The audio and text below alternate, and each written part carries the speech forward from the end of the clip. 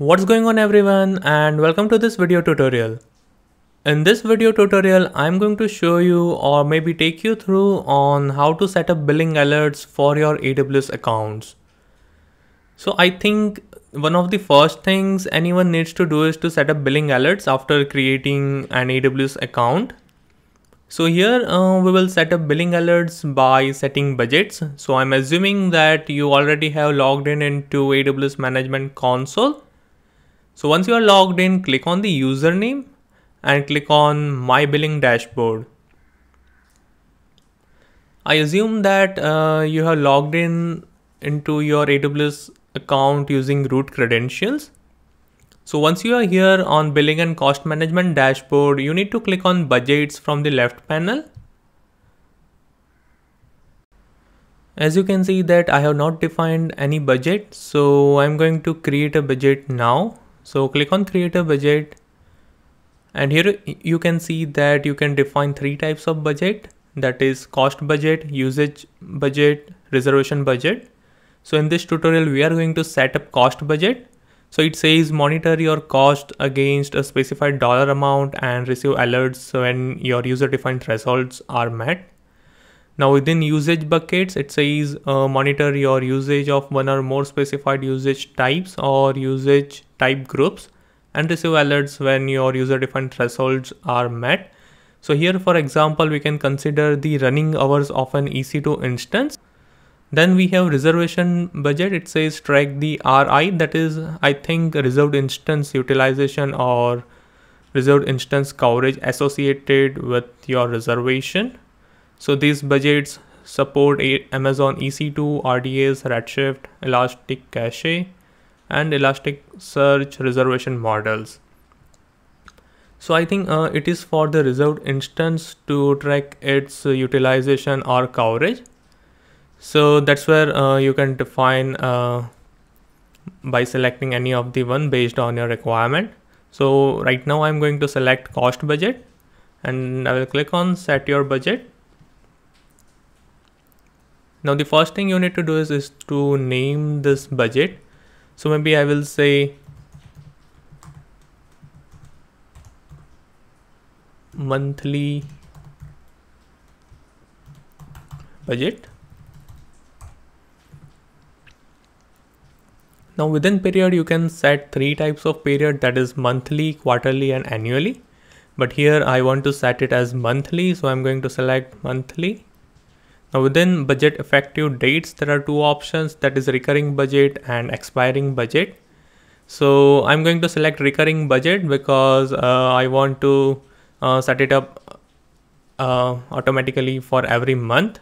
Now, if you select expiring budget, then you need to define the end one that till when you need to uh, run this budget so here I'm going to select recurring budget and it says start month from September 2019 now within uh, budget amount uh, there are two options that is fixed and monthly budget planning. So yet I'm going to select fixed. So if you click on monthly budget planning then you need to define the budget for individual month over here. So as you can see for September, for example, you need to define $10 for October, your usage uh, is increasing, then you, you might define $200 and so on, right? So here I will select fixed.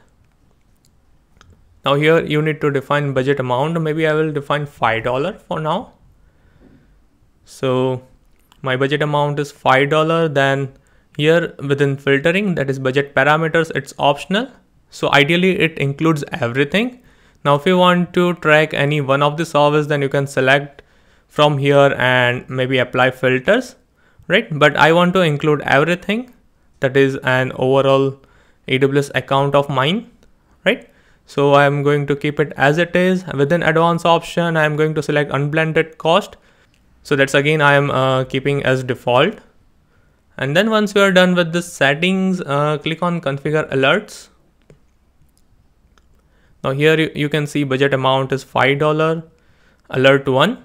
So send alert based on actual cost or forecasted cost. So I want to uh, send an alert based on actual cost and not the forecasted cost. So here you need to define a threshold that uh, if the billing crosses 80% of the defined budget amount 80% threshold then I want to send an alert to a defined email address so I will say 80% right so here you can see notify the following context when actual cost is greater than 80% that is greater than $4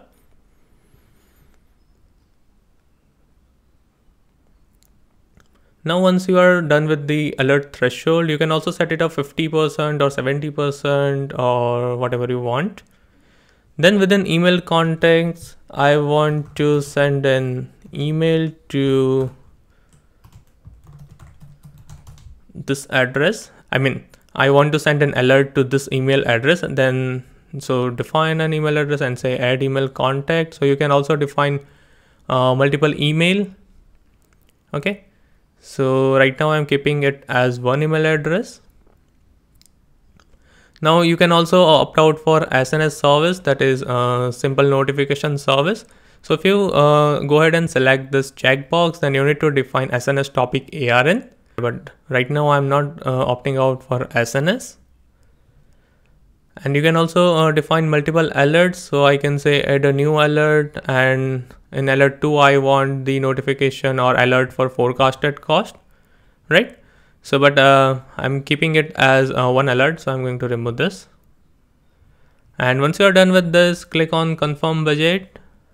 And here is your settings right? That is monthly budget period monthly start date is SEP 1 2019 budget amount is $5 aggregated cost by unblended cost and it includes everything right?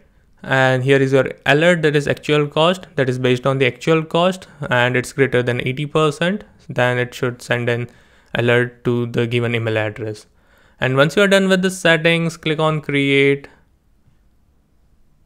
and you are good to go and here as you can see here your budget is defined right so now, uh, whenever my billing will exceed $4, that is 80% of the threshold, AWS is going to send me an alert via email that your threshold has been reached. Then maybe based on that, I can take necessary actions, right? So that's how you can set up uh, billing alerts for your AWS accounts.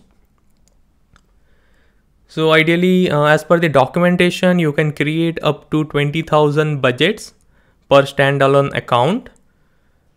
And your first 62 budget days are free of charge each month. And each additional budget day cost $0.02.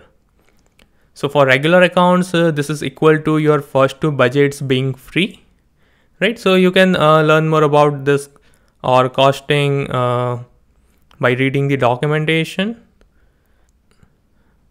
If you have still not set up your billing alerts, then I will recommend to first go ahead and set them up.